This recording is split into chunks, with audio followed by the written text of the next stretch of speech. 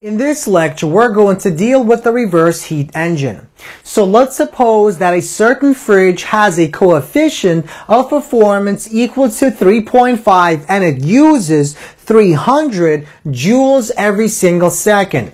How long would it take the fridge to freeze 200 grams of water at 0 degrees Celsius. Assume that the fridge only contains the 200 grams of water and nothing else. So this assumption basically means that all the energy that is transferred out of our freezer is transferred out of the 200 grams of water. That will become important in step two. So let's begin with step one. In step one, recall that the coefficient of performance of our fridge is equal to the amount of energy that is released or taken out of our fridge per second divided by the amount of work that the fridge requires per second. Now we know that W is simply 300 joules. And we know that our COP, our coefficient of performance, is given to be 3.5.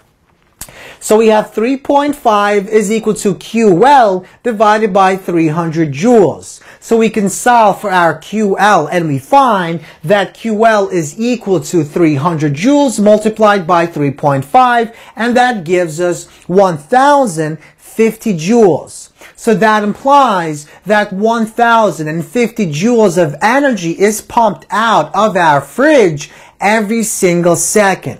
Now let's move on to step two. In step two, we essentially want to determine how much energy is required to pump out of our 200 grams of water to completely freeze it. So how much energy is required to freeze the 200 grams of water?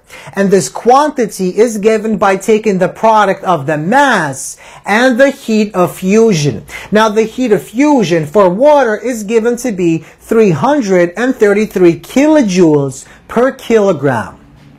So we multiply 0.2 kilograms because 200 grams is equivalent to 0.2 kilograms. We multiply that by 333 kilojoules per kilogram. Notice that our kilogram will cancel and we're left with 66,600 joules of energy is required to completely freeze 200 grams of water. So now we combine what we found in step one and step two. And and let's move on to step three. So we want to calculate the time it takes to freeze that water. So we know 1050 joules of energy is pumped out of our freezer. So that means it's pumped out from our water every single second. So that's the rate. So that means if we multiply how much, or if we divide how much energy is required to freeze it by the rate, that will give us the time. So 66,600 joules divided by 1,050 joules per second. Notice the joules will cancel and we're left with about 63.4 seconds. So it takes our fridge this many seconds to completely freeze this quantity of water.